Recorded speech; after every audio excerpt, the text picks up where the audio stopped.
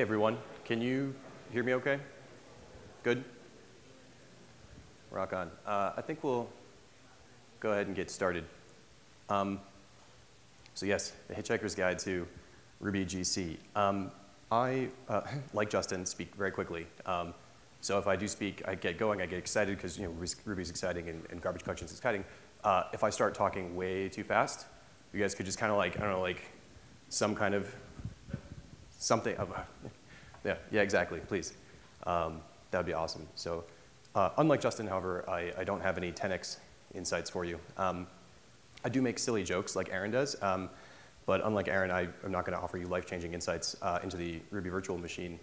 Um, my talk is, in fact, uh, literally garbage, um, or about garbage. Um, speaking of, did you guys uh, hear about this? This uh, controversy about the show Dirty Jobs?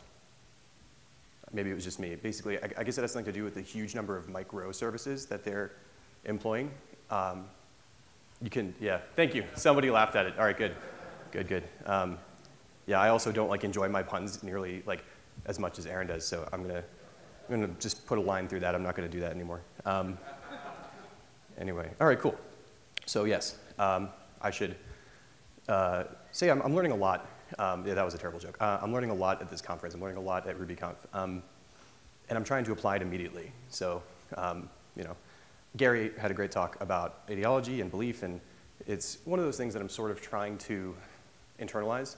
Um, but, you know, it's, it's hard, right? Like, we don't know what we don't know, and even when we know it, sometimes we uh, are unable to disarm ourselves. So, um, this is my first time giving this talk. Uh, this is actually my second talk ever. Um, I spoke earlier this year at uh, RailsConf. Um, so I'm going to try to confront my own uh, imposterdom uh, and also channel Aaron and not die.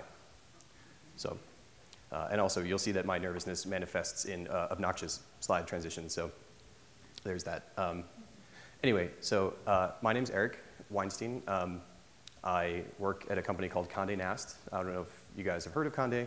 Um, you're probably familiar with the various brands. So there's you know, Wired, The New Yorker, Vogue, GQ, et cetera. Um, I really like writing Ruby. Uh, I write JavaScript a lot at work, um, so it's, it's nice to be able to write Ruby um, for some of those projects and, and, on my own time as well. Um, the Condé Nast Entertainment folks actually are all uh, using Ruby and Rails, so um, we are hiring. I feel obligated to say that we're hiring. and uh, you might be interested uh, in sort of by this strange hash, and, and why is it a hash uh, and not an object, you know, like a, a person.new? Um, and that is foreshadowing. So you will see. There's, there's a lot of literary devices in this talk. Um, uh, so also obligatory self-promotion. Um, uh, I wrote the Ruby curriculum uh, on Codecademy a couple years ago, uh, and I also wrote this book um, called Ruby Wizardry. Uh, it's for kids ages 8 to 12. Um, there's a really great Birds of a Feather uh, organized by uh, Jay McGavren, um, so who actually is doing a talk on method lookup later in this very room, so I highly encourage you to go to that talk as well. Um, and if you're interested in learning Ruby, teaching Ruby, kids, Ruby, nouns, uh, please come see me after the show. Uh, and I am, uh, so No Starch has, has, been delightful and is offering a 40% off. Uh, so if anyone does want the book, um, RubyConf 2015, and it'll be 40% off, I think, for the week. Garbage collection. Um, so there's a lot of mythology around GC and GC tuning and sort of how it all works. It's actually not as bad as it seems. Um, and for those not familiar, the, the don't panic uh, is kind of like emblazoned in large friendly letters on the cover of the Hitchhiker's Guide to the Galaxy. Um, this is also as much uh, for my benefit as yours. Um, so, uh, part zero, because you know this is a computer type conference and we should start at zero. Ruby is not slow. Okay, yes, sort of, sometimes, depending, it can be. Um, but not for the reasons that you think. Um, so people will say, okay, well, you know, my Ruby program is slow, it must be a database thing, or it must be, there's some super linear, crazy, like, four deep nested loop, and I'm doing something bananas in there that I shouldn't be doing. Um, or Ruby's an interpreted language and can't possibly be fast, and we should all be using Go or Java or something. Um, and so really what I found um, is that when Ruby programs slow down, uh, these aren't always, or even often, the culprits. Um, the object space in, in GC is actually an extremely rich part of the language, and not surprisingly, when you have a lot of richness, there's a lot of nuance, and performance bugs can hide in there. Um, these things are true that are on the screen, you know, they, they sort of do make some operations slower than you know, Java or compiled language. Um, but the, the reason that we have all this, um, for better and worse, uh, is because everything is an object. Uh, not everything, you know, blocks are not objects, but uh, you get the idea. Um, so let's take some time and, and, talk about the history of garbage collection in Ruby. First, we're talking about MRI, uh, C Ruby. Uh, we're not talking about Rubinius or JRuby, which have different garbage collectors. Um, I'd wanted to include them in this talk, but unfortunately, I only have so much time and they ended up on the cutting room floor. Um, I also don't know nearly as much about them, but if you are interested in Rubinius or JRuby or have some cool stuff to share, please uh, come find me. Um, I may make comparisons to these alternate implementations if the comparisons make sense, so they might kind of make guest appearances, but uh, by and large the talk is, is about uh, MRI. So let's talk about Ruby 187. Uh, 187 uses tracing, uh, as opposed to say reference counting, GC, and uh, GC traces um, are sort of like, you're looking for reachable objects in the object graph. Um, so if by traversing objects I can, I can get to one, that, that object is reachable, and great, that should not be collected. There are still references to it, um, as, as demonstrated in the graph. Um, and if they're not reachable, if an object is unreachable, it is eligible for collection. Um, 187 used very simple mark and sweep. Um, mark and sweep was invented by uh, John, John, McCarthy, that's right. It's not Alexander Graham Link, um, uh, for Lisp in 1958 or 59. Um, and it's, it's astounding that Ruby has, had, had gotten so, had gone so far with just simple mark and sweep garbage collection. Um, and garbage collection works this way in, in mark and sweep. Ruby will allocate some amount of memory. We'll talk about details in a little bit.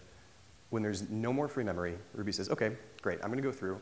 I'm going to look for all of the active objects that I can find. Um, I'm gonna mark them as active. And then anything that's inactive, I can sweep onto a new list, and that's where I'll go when I need more stuff. Uh, so broadly, this is what Ruby is doing. Um, this was a fun animation. I like the arrows moving. Anyway, um, so the, uh, the important thing to realize, though, when you're, when you're marking and sweeping and marking and sweeping and having a great time is that everything stops. Um, because reachability in the object graph can change from you know, when you uh, are marking and then sweeping. Um, it can change while the program is executing, and it does change while the program is executing. So in order to mark and sweep, the collector has to stop the world. Uh, so if you hear people talking about stop the world garbage collection, major garbage collection, this is what they're talking about. Everything stops, Ruby marks, sweeps, everything's great, and then continues execution. So in 193, we got some improvements. We got lazy mark and sweep. And this is an improvement because it increases, um, or rather reduces the pause time by saying, okay, I'm actually just going to sweep in phases. Um, it doesn't really do anything to the overall amount of time you spend collecting garbage, but if you say, I'm gonna, garbage collecting is gonna take half a second, and I'm going to do it 10 times instead of like one second doing it five times, you know, you, you don't get these um, un, unacceptable hang times while garbage collection is happening. And if you do have like a highly evented or IO-driven application, you have a web server, you have something with a, a, a, GUI, and you can't just like sit there for a couple seconds while you're collecting garbage, this is a big win. Um, unfortunately, 187 and 193 uh, both subvert uh, native copy on write, which we will also talk about. It will be on the quiz. Uh, that's a huge lie, there's no quiz, um, just more information. Uh, anyway, so this doesn't reduce the kind of overall pain of stopping the world, but it just sort of amortize uh, that over more, more uh, sweeps. So in, in 2.0, uh, we got bitmap marking. So we are no longer marking objects directly, rather we ha have a bitmap that represents the state of objects um, and their eligibility for collection. Um, this will be extremely important later because this is what sort of allows us to, to use copy on write uh, and have a great time. Um, I'll be covering all these in depth pretty soon. I just kind of want to show you where we're going uh, on the journey. That is this talk. Um, so yes, so uh, if, like Aaron, uh, I don't die during this presentation, um, I'm going to be turning 30 in March, which is kind of like when I become old, I guess. I don't know, I, guess each decade is a collection. Uh, I'm talking broadly about Ruby 2.1, so uh, we have generational garbage collection, two generations, a young one and an old one. Um, and if you survive three collections in 2.1, uh, you become old.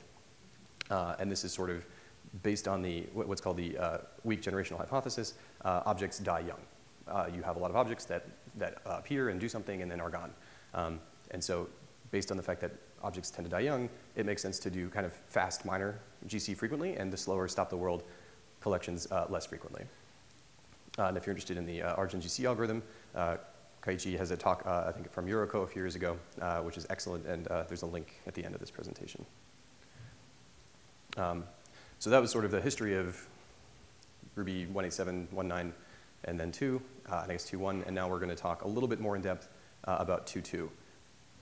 2, but it's 2.2 in general. Um, and we'll talk a little bit more about copy on write, bitmap marking, all the stuff I mentioned. Um, but here I'm just going to focus quickly on two things, uh, incremental and symbol GC, which we have in 2.2. And we'll also talk a little bit about garbage collection tuning, which is scary and amazing. Um, so symbol GC.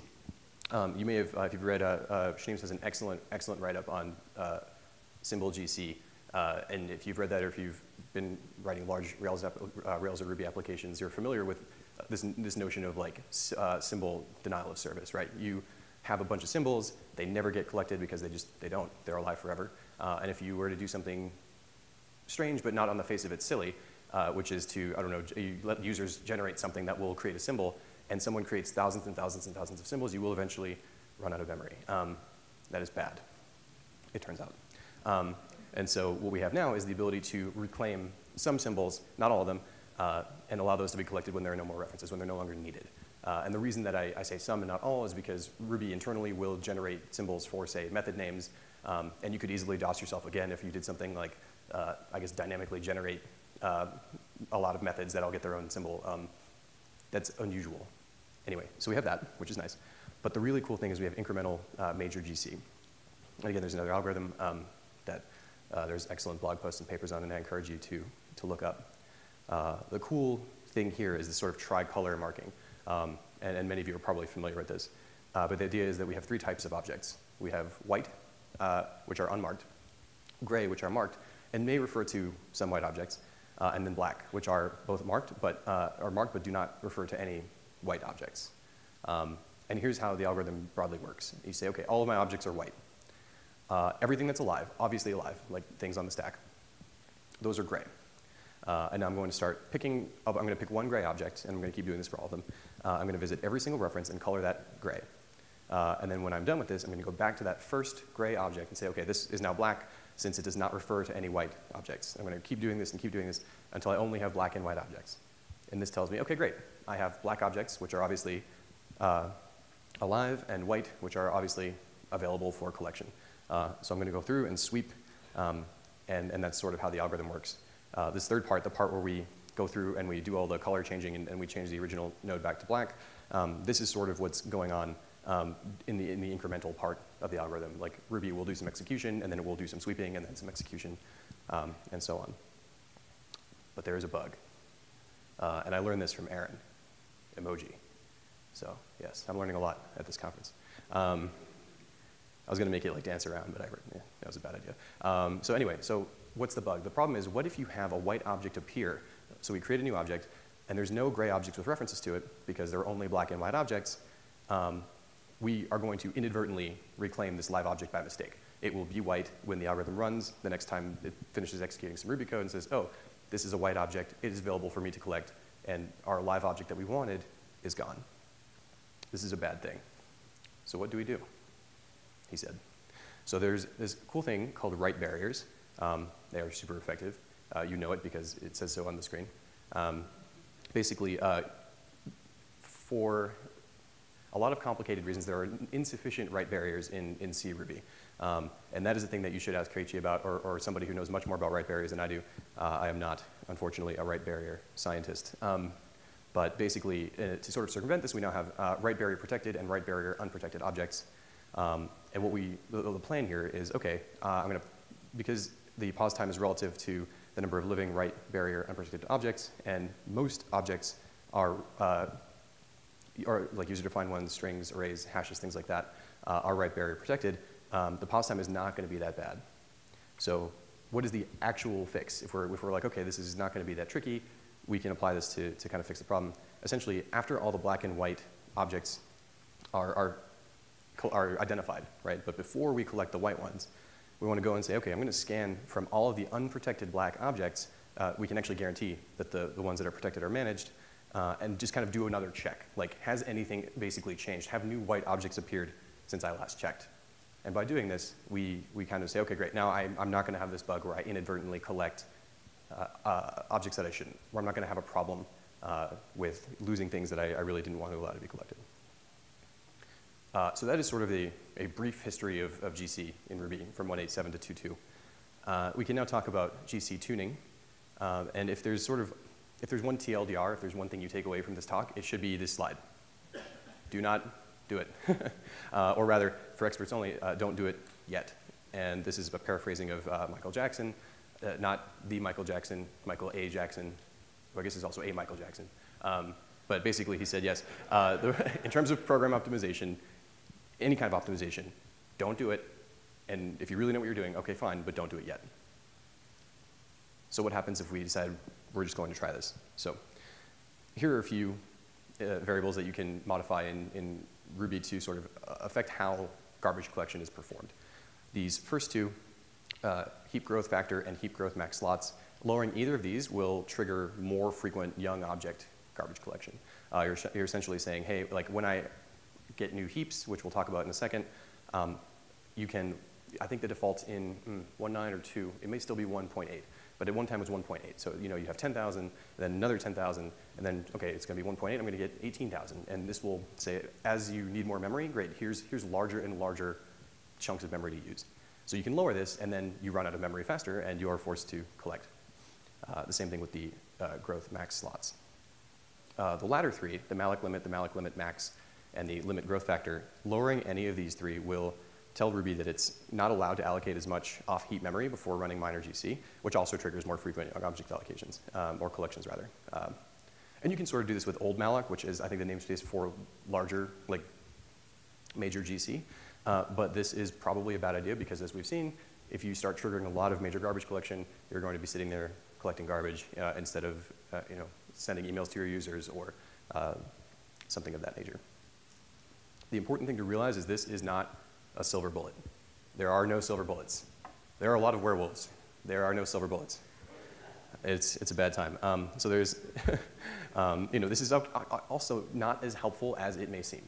There will be times where you say, yes, there's a lot of objects, there's a lot of stuff that's going, we're churning, and garbage collection is a problem. We've identified this as kind of a thing that we should do. You, are, you can inadvertently make things worse for yourself um, by modifying these variables and not doing a lot of measuring and being very careful.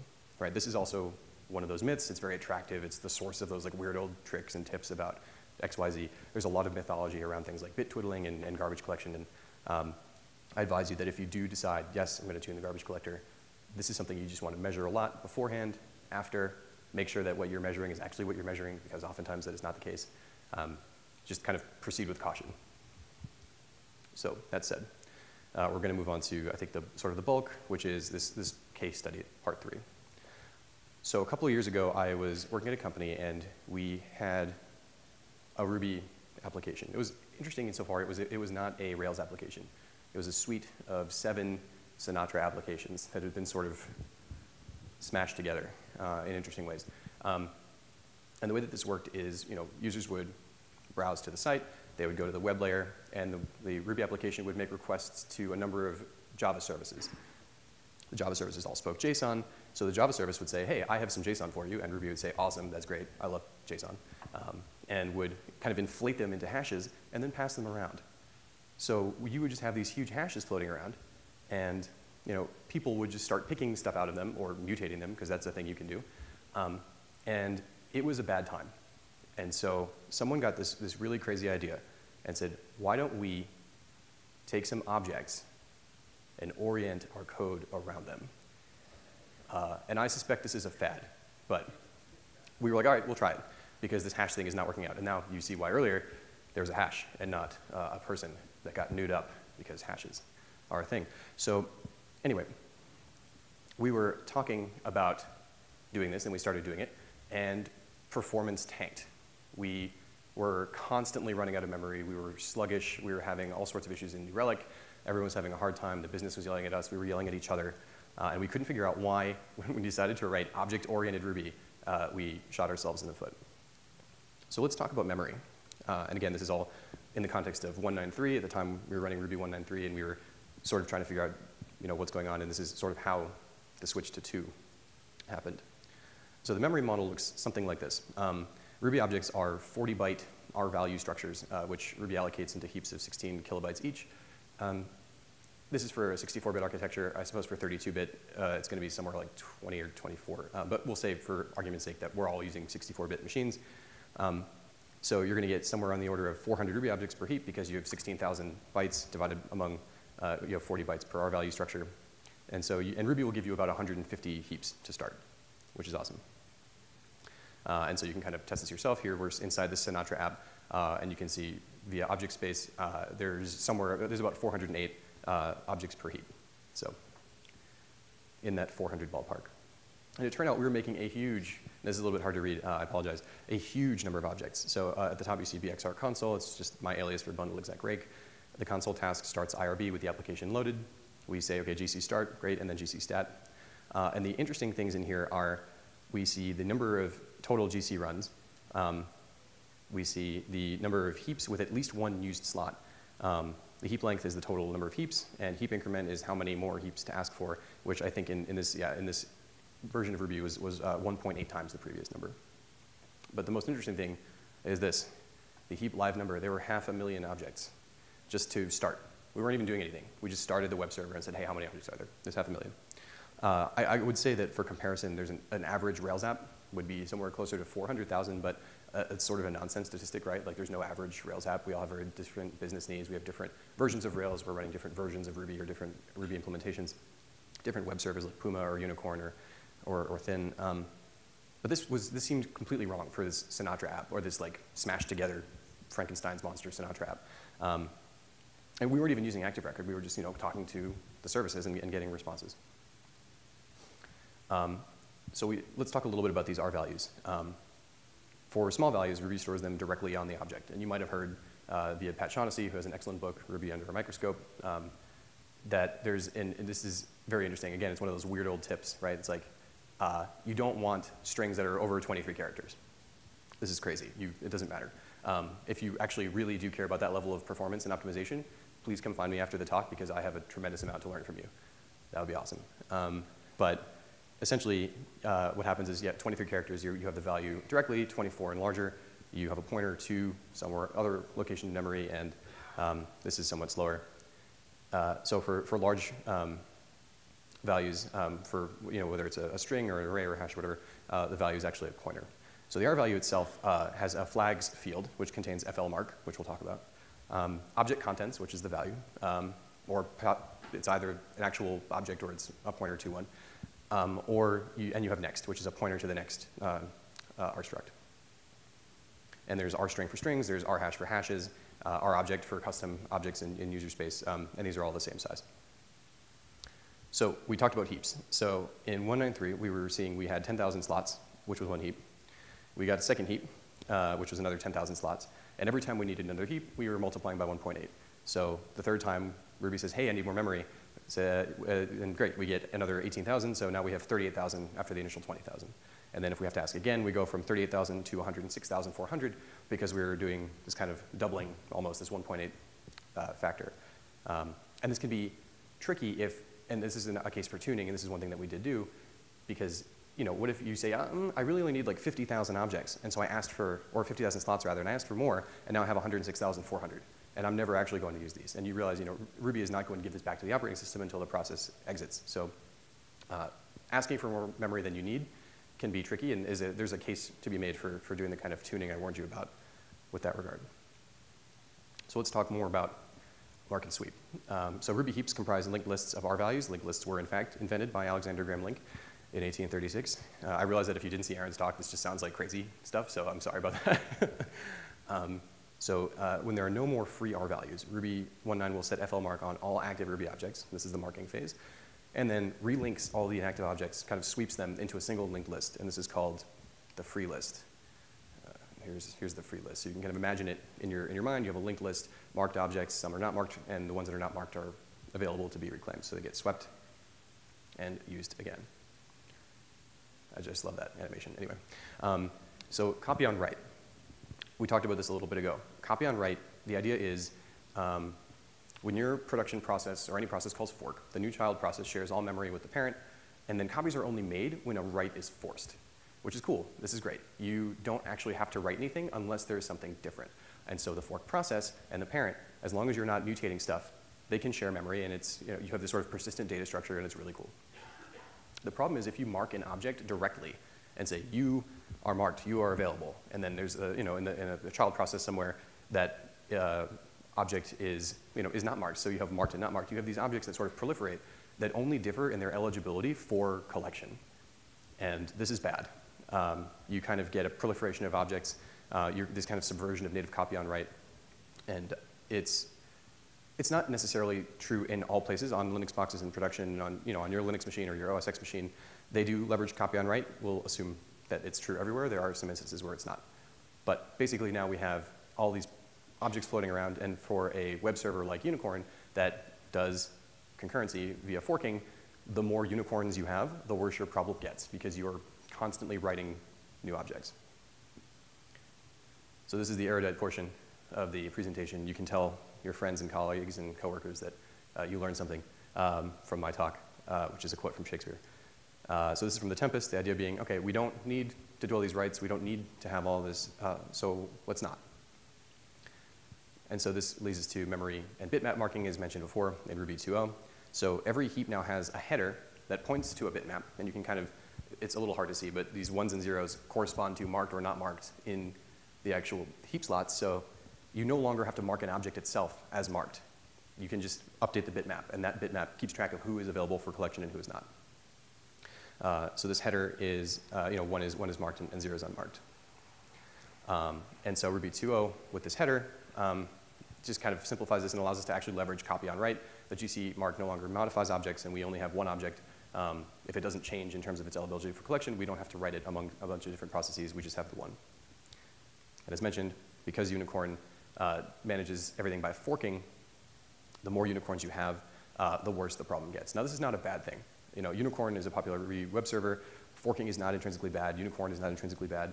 Uh, Ruby is certainly not intrinsically bad. Uh, Ruby 193's garbage collection algorithm was inadvertently doing a bad thing, um, which has been fixed, which is great. So as mentioned, as n increases, the problem gets worse. So here are some numbers. Um, hopefully they're somewhat illuminating.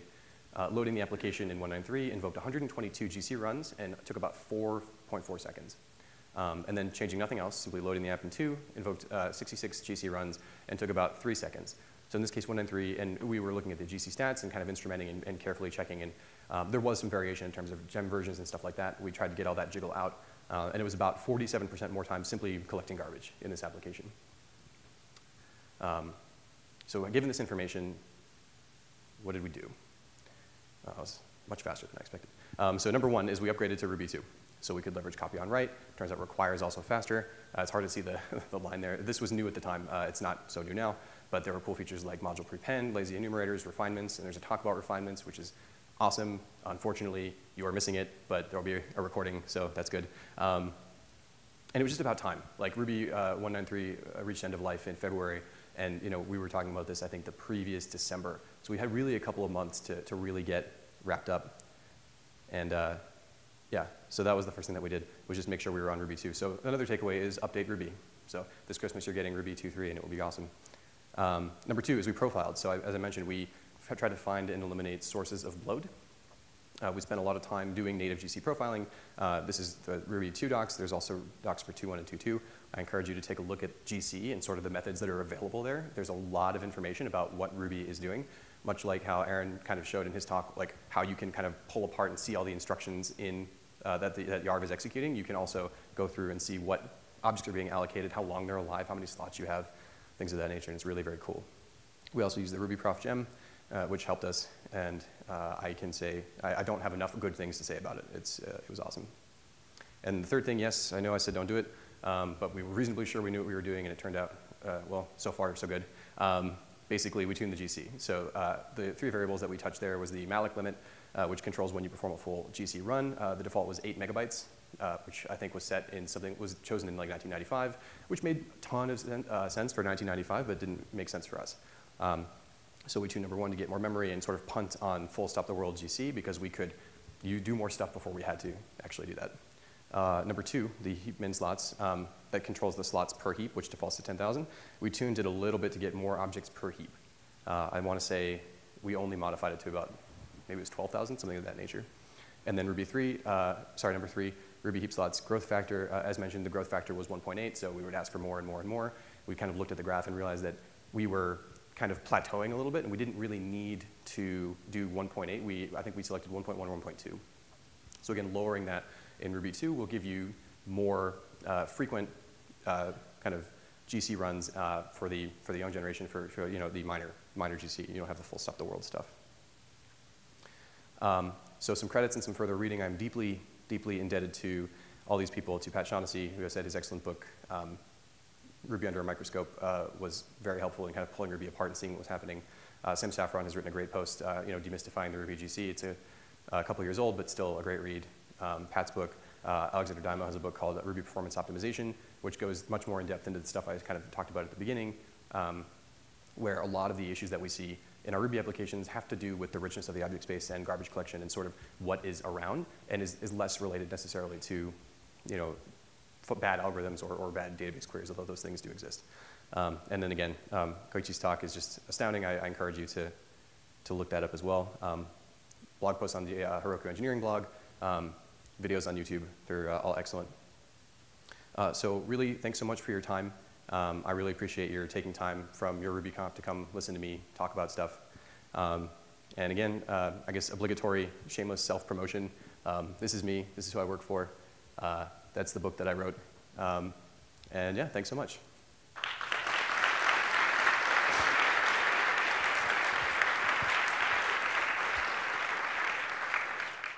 I'm sorry, I don't understand the question. oh, out of band GC. That's a great question.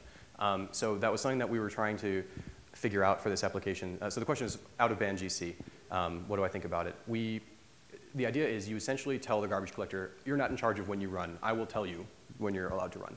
Uh, this is a thing that is useful if you have something like a web application where there are requests coming in and someone could be in the middle of a very complicated request and Ruby will say, hey, timeout, I'm out of memory, I need to collect, I'll, I'll be right back, and then just do a major garbage collection right in the middle. You don't want that to happen. Uh, so the idea is you say, I'm going to only allow garbage collection in between, in between requests, like maybe every 10 requests or every 100 requests or every 300 requests. That's when I'm going to like do some garbage collection and then back to, back to the show.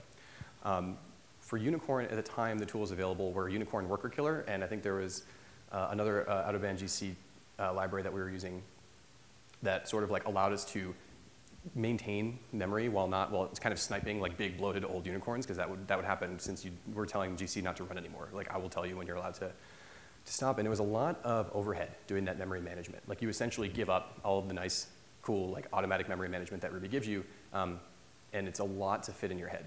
So while I think it's, there are certainly times where it makes a ton of sense and it can be very, very useful, we found it was too hard for us to get right, which does not mean it's not too hard for you and your team to get right. But how long should a major garbage collection take?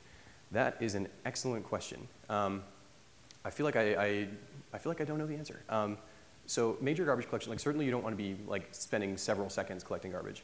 Um, uh, as, as, Gary mentioned in his talk yesterday, like this was sort of like why he was not convinced that garbage collection was necessary because Java garbage collection in 2002 was taking several seconds, and this was unacceptable. Um, with the, the newer stuff in 2.2 and the sort of the ability to kind of incrementally do it, um, I feel like it, there's the applications I've worked on, it was like less than a second, like more than a second. We were kind of like, oh, this is taking a long time. Like, what's what's actually going on? Um, but I think it's gonna it's gonna have to depend on your application and your needs. Yeah. Where do you? Oh, the book. Yes, like I said, the flashing buy now button. Uh, so you can get the book from your local bookseller. It's uh, published by No Starch Press. It's available on Amazon. It's available at Barnes and Noble. Um, I wish I had copies with me, but uh, they were they're extremely heavy. Like it's something like 340 pages. Like it's it's surprisingly big. Um, there are illustrations, um, so yeah, it's, uh, it's pretty cool. I, um, I'd be happy to show anybody like a PDF or you know, some sample pages on my machine later today. Like I said, I wish I had a copy, but I'm not good at marketing, it turns out. Correct, yeah, so this is, uh, yes, to be, to be clear, that's exactly right. That's a good question. So the question is, is this code is for no starch, and that's correct. So this is not something that you can use with any bookseller. If you go to nostarch.com and you say, I want to buy Ruby Wizardry, there's a little box that says, do you have a promo code? And if you put in RubyConf 2015, uh, it will be 40% off. Like I said, it's for kids ages 8 to 12, uh, certainly as young as 6 or 7 if they've got, if they're really motivated and their parents are willing to help, because um, it, it can be kind of tricky. And I suppose up to high school, but you know, it's sort of like the Phantom toll booth, like there's a time to read it, and that, that time is not maybe when you're 16. Um, but I've had adults tell me that you know, they liked it, so if you want to learn Ruby, maybe it's helpful for you too. Rock on. Well, again, thanks so much.